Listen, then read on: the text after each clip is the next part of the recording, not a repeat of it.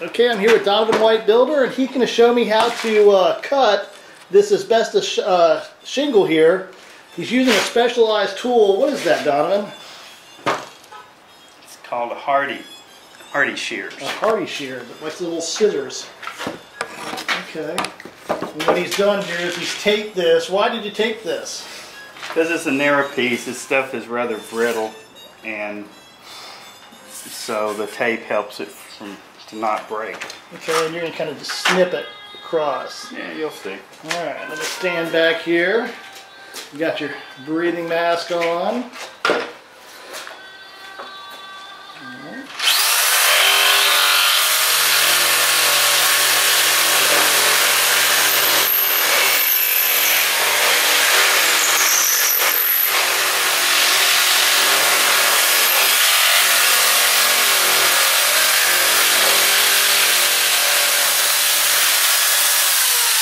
Man, that really reduces the dust. I was expecting far more, far more dust to fly on that.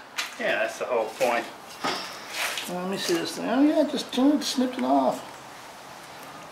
Okay, and that's the piece you're going to use, the small piece. Yeah, that's why I taped it. Okay, so so taping it's the key part of the lesson, and using the right tools is the lesson also. Well, the, th that tool just doesn't kick up a lot of dust. No, it doesn't. You know, and that's the problem with Hardie or the cutting these asbestos shingles. It's the it's the fine particles that's created by uh, a saw Right, right. that that you breathe, and that just re, that just uh, el- eliminates a lot of the dust. Now, will will that thing cut this size Hardie too? No, Okay, just basically the shingles only. right.